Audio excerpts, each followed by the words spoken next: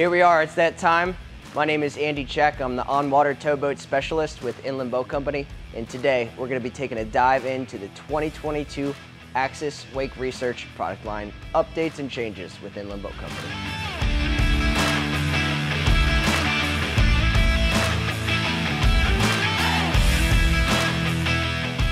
Specs on the new A22. It's 21 feet 11 inches long with a 102 inch beam and a draft of 27 inches.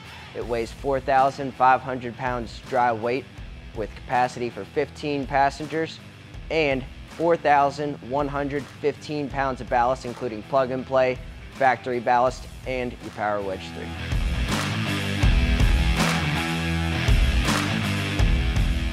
The reason all of our Axis A22 owners love their boat is because they get the best in industry performance at a mid-sized towboat package.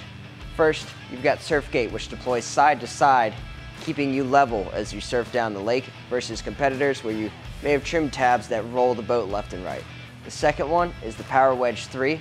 It deploys in six usable positions, pulling the boat lower in the water to create a short steep wave or lengthen it out for a longer transition.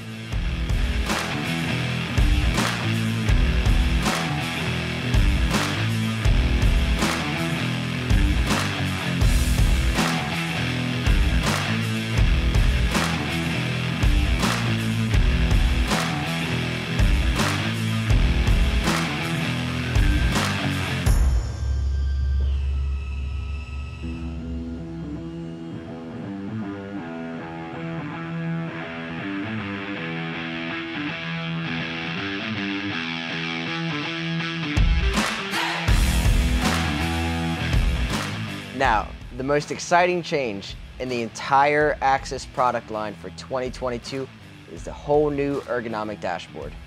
Right out of the gate as a driver, when I look forward through my windshield, there's nothing obstructing my view here in the center. Everything is lowered and you can see the 7-inch Garmin display here on the right side. If you opt for the Sport Dash, all your buttons and controls down here along with the wireless charger. You can pull your phone from the dash that's recessed with nice soft pads and charge your phone on the fly while you're running down the lake. Along with that, you get the new ergonomic steering wheel and matching throttle. Finished very well, almost similar to a more luxurious uh, Malibu or higher trim level model.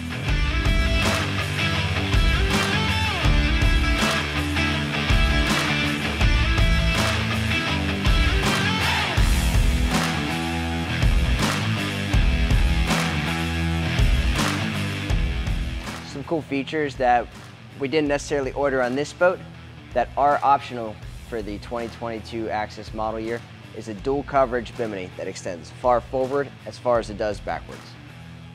Some other cosmetic updates are the grab handles are much nicer and easier to hold, more comfortable in your hand on the back and sides of the boat.